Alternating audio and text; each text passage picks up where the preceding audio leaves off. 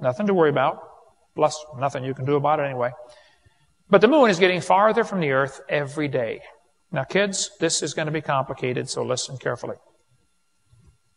The moon is getting farther from the earth every day. So that means that it used to be closer. How many can figure this out with no help at all? Okay. Well, if you bring the moon in closer, you start to create a problem because the moon causes the tides. Now, you folks in Knoxville probably don't worry about the tides, but in Pensacola, you worry about the tides. See, if the moon was closer, the tides would be higher. There's a law called the inverse square law. If you brought the moon in to one third the distance, you take the one third, flip it over, and square it, it's nine times the gravitational pull. If you run all the math on this, you'll find out the moon and Earth would have been almost together 1.4 billion years ago.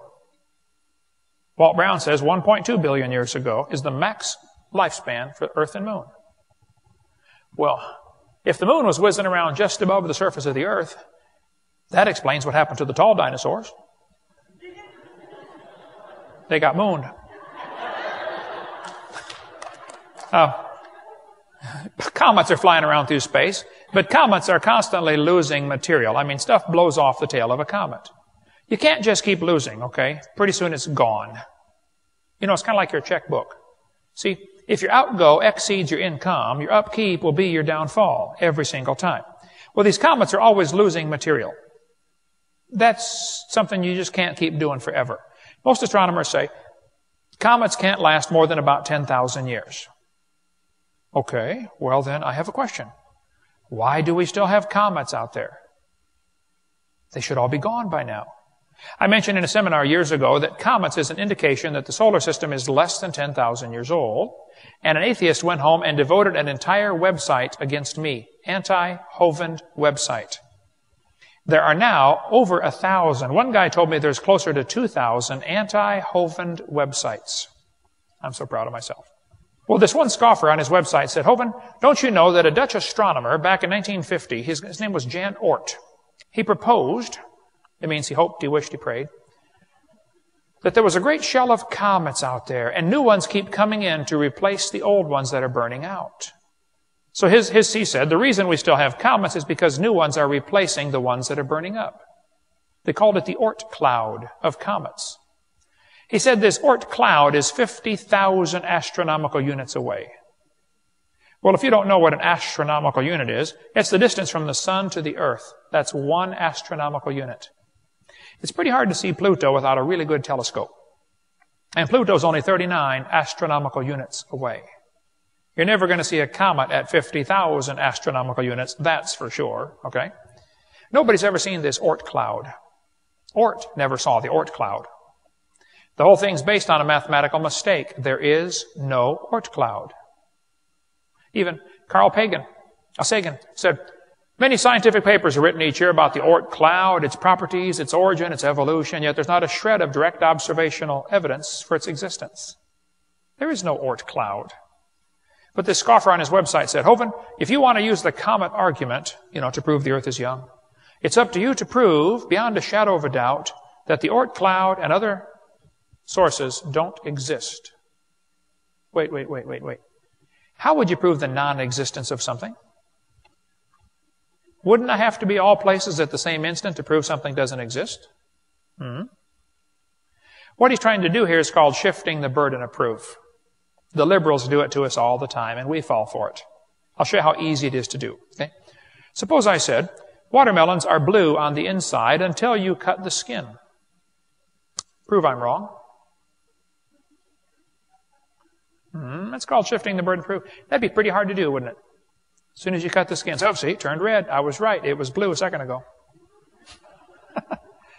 he says, I have to prove there's no Oort cloud. Now wait, wait, wait, Dave. Here's what we know. We know we have comets. We know they don't last more than about 10,000 years. We know the Bible says the earth is 6,000 years old. I don't have a problem with comets.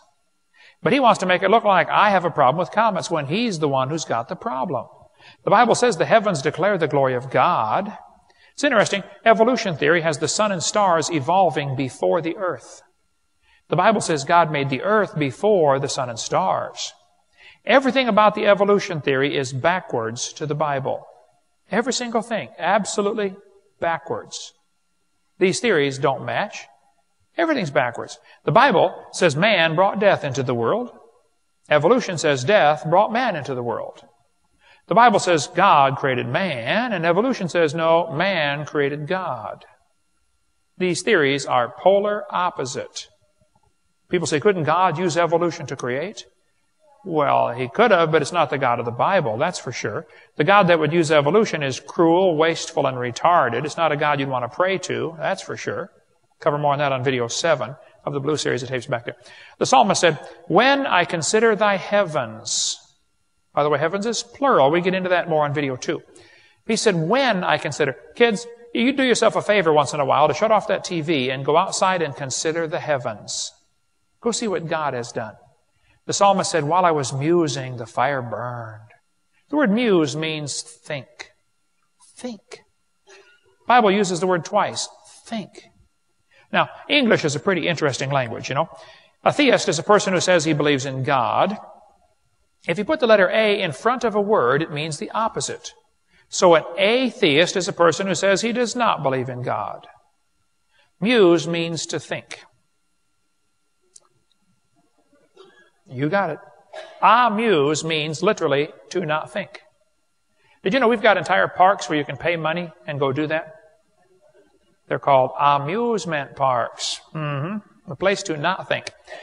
He said, When I consider thy heavens, the work of thy fingers, the moon, the stars, which thou hast ordained, what is man that thou art mindful of him? You know, it's interesting. A person that spends his time considering what God has done is just not impressed with what man can do. And some of you parents ought to go home and look in your kid's bedroom. And if what you see all over the wall are pictures of sports heroes, you listen carefully. You're training your kids to meditate on what man can do, not what God can do. And his brain, his thinking process is going to be about that deep. You know, the depth of his understanding is, wow, he threw the ball through the hoop. Oh. Who's going to care in a thousand years? Who's going to care in five years? Does anybody know who won the Super Bowl, Super Bowl five years ago? Does anybody care? Doesn't matter, does it? All those grown men out there fighting over that one ball, and they can all afford to go buy their own. I mean, it's not sinful. It is just dumb to pay a guy $5 million to carry a pig bladder down a cow pasture through some plumbing. It's not going to last, folks. Think about things that are going to last forever, like what God has done, okay? Meditate on that. The Bible says, speak to the earth and it shall teach thee. The earth is like a big magnet. Now, magnets always lose their strength. The earth's magnet has lost 10% of its strength in the last uh, 150 years. That means, of course, it used to be stronger since it's getting weaker, and it cannot be more than 25,000 years old. Just the Earth's magnetic field decline limits it to less than 25,000 years, and that also means carbon dating can't work. I'll Give you a few examples here. The lower leg of a mammoth dated 15,000 years old, but the skin was 21,000. One part of a mammoth is 29,000 years old. Another part's 44,000. You talk about a slow birth. Cover more on carbon dating on video number seven and all the serious problems with that. But the textbooks will say, well, yes, the magnetic field's getting weaker, but that's because it's reversing, okay? It's a pattern of reversals. No, there are no magnetic reversals in the magnetic field at the bottom of the ocean. We cover that on video six. This is all part of another theory called Pangea. How many have ever heard of Pangea before?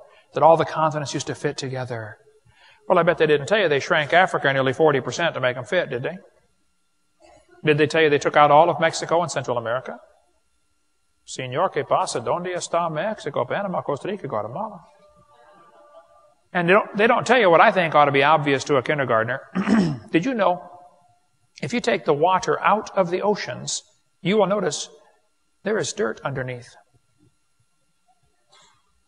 People say, Hovind, do you think the continents were ever connected? I say, well, what do you mean? They're still connected. I mean, like right now, you know, it's just the low places are full of water, that's all. What do you mean, were they connected? Hello, they're still connected.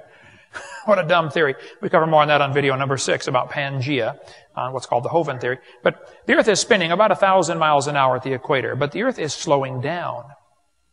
The Earth actually slows down about a thousandth of a second every day. The Earth slows down. Astronomy magazine ran an article in 1992. They said Earth's rotation is slowing down. June will be one second longer than normal. We will have a leap second. Leap second? Yep. They have to have a leap second about every year to year and a half. Because the Earth is slowing down.